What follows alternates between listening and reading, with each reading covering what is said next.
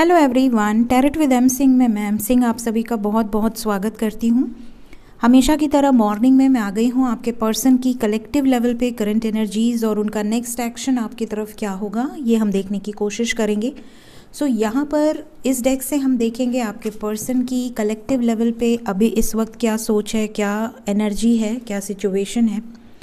और इस डेक से हम देखेंगे आपके पर्सन की करंट फीलिंग्स आपको लेकर। सो so, शुरू करते हैं देखते हैं क्या एनर्जीज़ निकल कर आती हैं आपके पर्सन की कलेक्टिव लेवल पे। प्लीज़ गाइड करें एंजल्स मेरे व्यूवर्स के पार्टनर्स की कलेक्टिव लेवल पे करंट सिचुएशंस क्या चल रही हैं। प्लीज़ गाइड करें।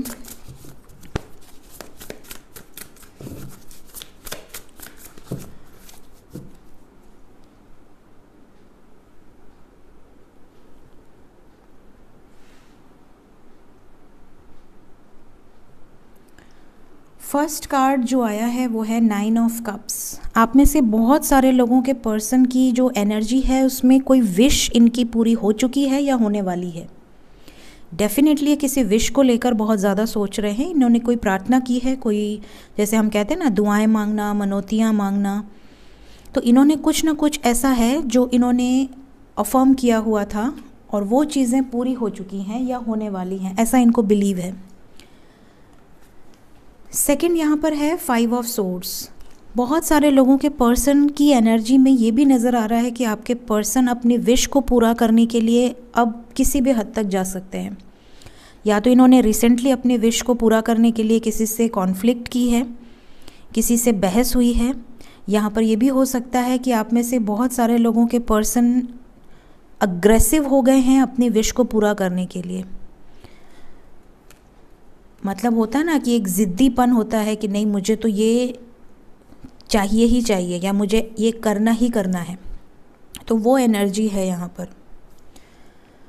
थर्ड कार्ड जो हमारे पास है वो है द वर्ड आपके पर्सन कंप्लीशन में आना चाहते हैं। इनकी सोच में कंप्लीशन है। ये अगर किसी भी तरह के कार्मिक साइकिल्स में हैं कुछ इनके पास्ट लाइफ कर्माज हैं, जो कि आप दोनों के बीच में आ रहे हैं, इस रिलेशनशिप के बीच में आ रहे हैं, या ट्रिगर कर रहे हैं इनको तो ये उन कर्मास को भी हील करते हुए नज़र आ रहे हैं। Then we have ten of cups मैंने अभी कहा ना कंप्लीशन की एनर्जी है and we have ten of cups तो बहुत सारे लोगों के पर्सन मैरिज को लेकर कमिटमेंट को लेकर, इस रिलेशनशिप में बहुत ज़्यादा सीरियस हैं। एंड ये कार्ड विश फुलफिलमेंट के नीचे ही आया है।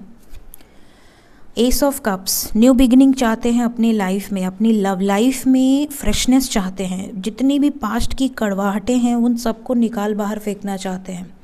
बहुत ही ज़्यादा पॉजिटिव है इस रिलेशनशिप को लेकर। देखिए रीडिंग की शुरुआत ही अगर विश फुलफिलमेंट से हुई है तो यहाँ पर इनकी विशेज़ भी समझ में आ रही हैं। लास्ट कार्ड है हैंग्ड मैन डेफिनेटली आपके पर्सन आपके बारे में बहुत ज़्यादा सोचते हैं और आपसे मूव ऑन नहीं कर पाए हैं।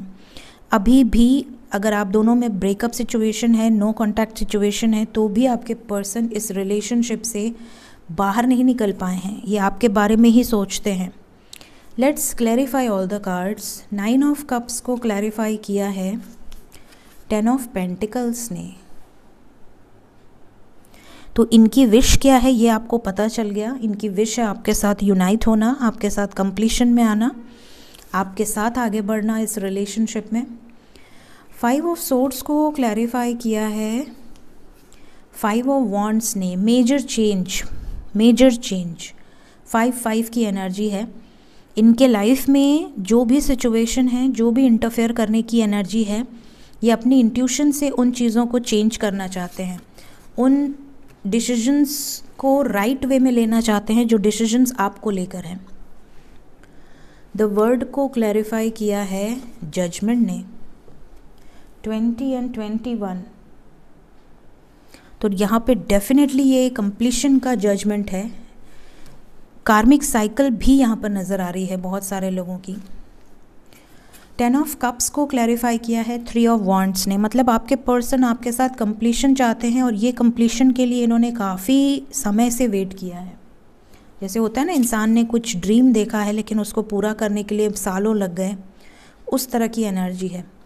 एस ऑफ़ कप्स को क्लैरिफाई किया है सेवन ऑफ़ सोर्ट्स ने। हो सकता है आपने इन्हें बहुत बार बोला हो कि प्रपोज़ल क्यों नहीं दे रहे, शादी क्यों नहीं कमिटमेंट क्यों नहीं दे रहे। या बातचीत तो करते हैं बट ऑफ़र क्यों नहीं कर रहे हैं कि हाँ मैं आपसे ही शादी करूँगा या करूँगी? ये हमेशा भागते रहते थे बट अब इन्होंने ये बात को क्लियर कर लिया है कि मुझे किसके साथ नई शुरुआत करनी है। एंड हैंगडमैन को क्लैरिफाई किया है प्रिंसेस ऑफ़ पेंटिकल्स ने। मतलब आपके पर्सन मूव ऑन नहीं कर पाते हैं। कभी ना कभी इनको इतनी ज़्यादा आपकी याद आती है कि ये लौट कर वापस आते हैं, भले आपका हालचाल ही लें। आपको ऐसा लगे कि यार इतने दिन के बाद ये मैसेज किए और वो भी सिर्फ़ हाय हेलो गुड मॉर्निंग या क्या चल रहा है। उसके बाद फिर से नॉर्मल तो आपको ऐसा लग रहा होगा कि भैया ये आता ही क्यों है या आती क्यों है जब इसको आ, मुझे कमिटमेंट नहीं देनी है। बट एक्चुअली में बात यह है कि ये आपसे मूव ऑन ही नहीं कर पाते हैं। और इन्हें ये भी समझ में नहीं आता कि ये कमिटमेंट कैसे दें। तो ये स्टक हो गए हैं बीच में। तो ये एनर्जीज़ गाइस करंट सिचुएशन में निकल कर आई हैं। होप आप में से काफ़ी लोगों से ये सिचुएशन रेजोनेट करे आपके पर्सन की। Let's check current feelings specially आपको लेकर अभी इस वक्त आपके पर्सन क्या सोच रहे हैं? क्या ये आपको याद कर रहे हैं? मिस कर रहे हैं? क्या आपसे कुछ बोलना चाहते हैं? कुछ कहना चाहते हैं?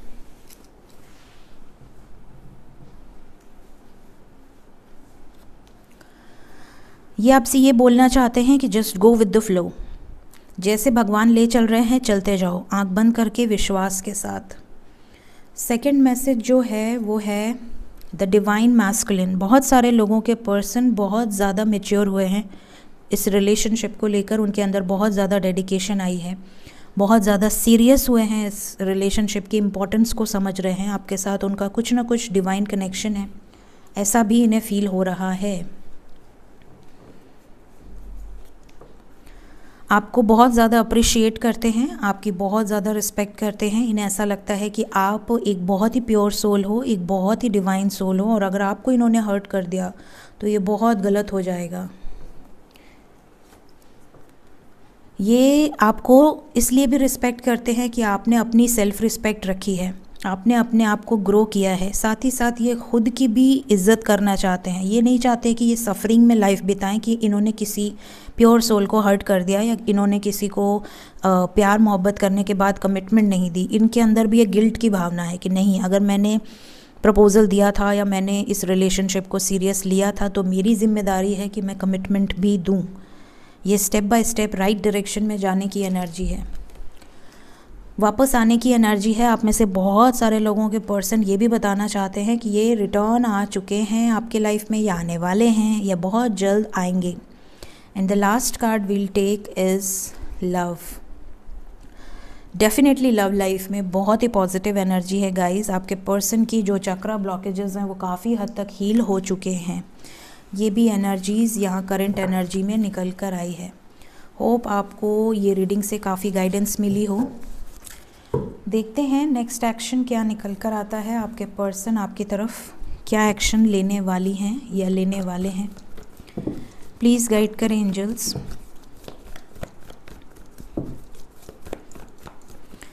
नेक्स्ट एक्शन क्या होने वाला है मेरे व्यूवर्स की तरफ़, उनके पर्सन का। रीडिंग की शुरुआत हुई है थर्ड पार्टी से किसी तरह की कॉन्फ्लिक्ट हो सकती है। Again we have double five energy जैसा कि हमने करेंट एनर्जी में देखा था कि ऑब्स्टिकल्स से लड़ सकते हैं। तो आप दोनों के बीच में जो भी ऑब्स्टिकल्स हैं, उनसे इनकी फ़ाइट या आर्ग्यूमेंट हो चुकी है या होने वाली है। सॉरी थोड़ा सा मेरा गला जो है वो ख़राब है। तो अगर आपको आवाज़ थोड़ी कम आ रही हो तो kindly adjust next action harmony relationship heal हो रहा है.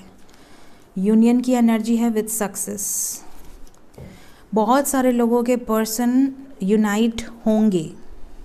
आपके लिए जो नंबर इंपॉर्टेंट है वो है नंबर फाइव मैसिव यूनियन की एनर्जी है. कलेक्टिवली ये यूनियन होगा और ये जो न्यू मून है ना, ये बहुत पावरफुल न्यू मून होगा. ये न्यू मून कार्मिक्स के लिए बहुत ट्रिगर वाला होगा। और जहाँ भी एनर्जी पॉजिटिव है अगर आप थोड़े भी पॉजिटिव हैं आपको डिवाइन पर फेथ है आपने सच्चे दिल से सरेंडर किया है तो ये जो न्यू मून है जो आने वाला है ये आपके लिए ब्लेसिंग्स लेकर आने वाला है। ऐसी एनर्जी यहाँ पर नज़र आ रही है। सो so, आपके लिए जो नंबर इंपॉर्टेंट है गाइस वो है फाइव हो सके तो सोलर प्लेक्सिस मेडिटेशन ज़रूर करें। सोलर प्लेक्सिस चक्रा क्या होता है और उसे कैसे हील करना है, इस पर मैंने ऑलरेडी वीडियो बना रखी है। एस्ट्रो विद एम सिंह पे आप जाएँ और एक घंटे के अंदर आप सभी चक्रा के वीडियोस देखें, सीखें और आपको ऐसा फील हो कि आपके कौन से चक्रा ब्लॉकेज हैं, आप उस पर काम करें। एंजल्स की तरफ़ से क्या मैसेजेस हैं मेरे व्यूवर्स के लिए?